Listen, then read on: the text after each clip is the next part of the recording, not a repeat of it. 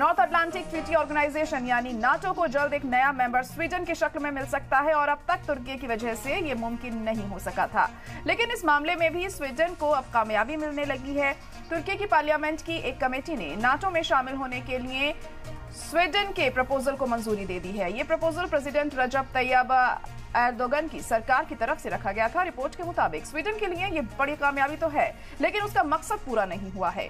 अब उसे तुर्की की जनरल असेंबली से भी हिमायत की उम्मीद है। इसके लिए एक प्रोटोकॉल है और ये प्रोसेस कब शुरू होगा, इसका ऐलान नहीं किया गया है।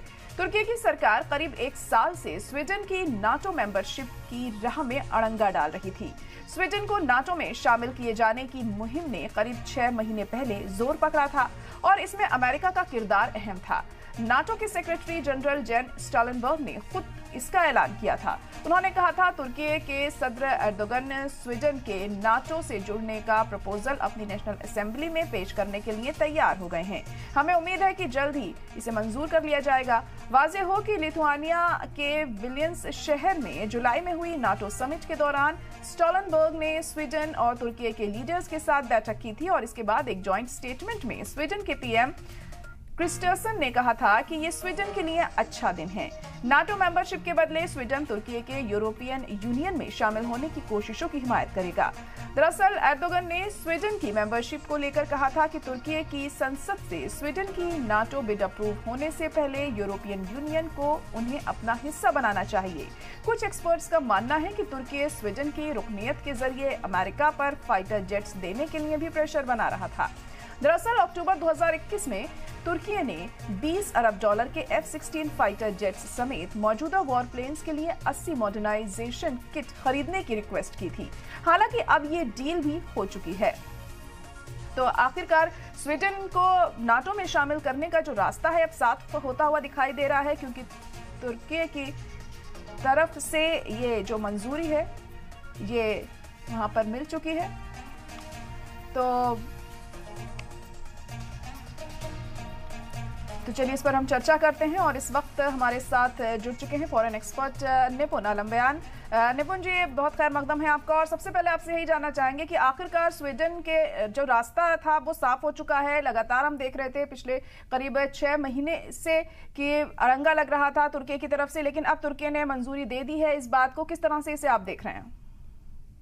देखिए टर्की की मंजूरी देने की दो तीन वजह। जी। अभी मुझे लगता है जनरल असेंबली में वो पास हो जाएगा। अर्दवान जो गवर्नमेंट है उनका मेजोरिटी है उनको वहाँ पे पास कराने कोई दिक्कत नहीं होगी। लिहाजा स्वीडन जो है वो नाटो का मेंबर बन जाएगा।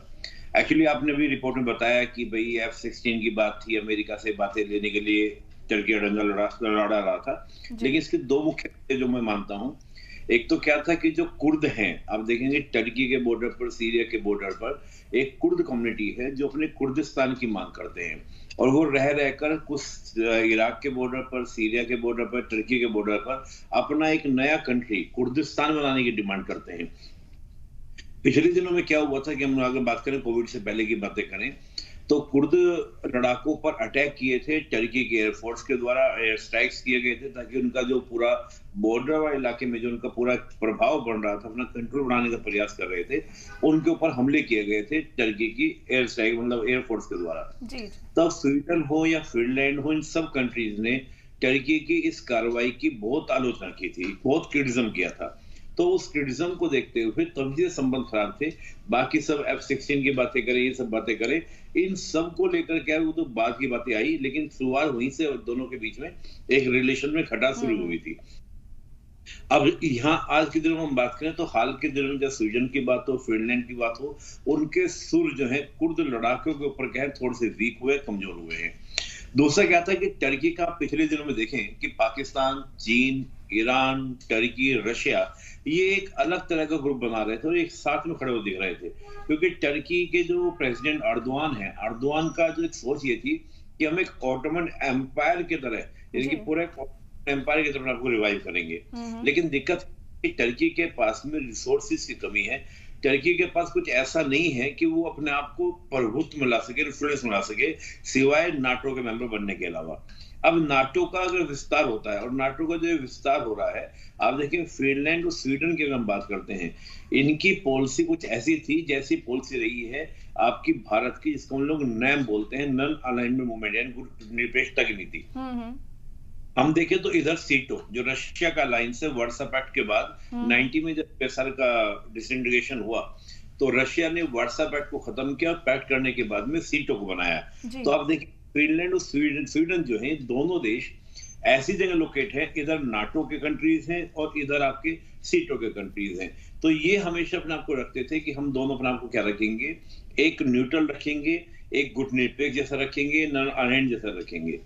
लेकिन जब हम देखते हैं रशिया ने क्रीमिया पर 2014 में कंट्रोल किया उससे पहले जर्जिया और आपका जो कॉन्फ्लिक्ट हुआ था जर्जिया के साथ मिलने के बाद जब शुरुआत हुई थी 2008 में रशिया के साथ उसके बाद से ही स्वीडन और फिनलैंड को भी अपनी स्वतंत्रता के ऊपर संकट लगने लगा कि कहीं ऐसा ना हो कि रशिया हमारी ओर भी क्या करे इन्वेजन करे हम्म। और कि जब 90 में रशिया का टुकड़े हुए थे यूएसए के जब टुकड़े हुए थे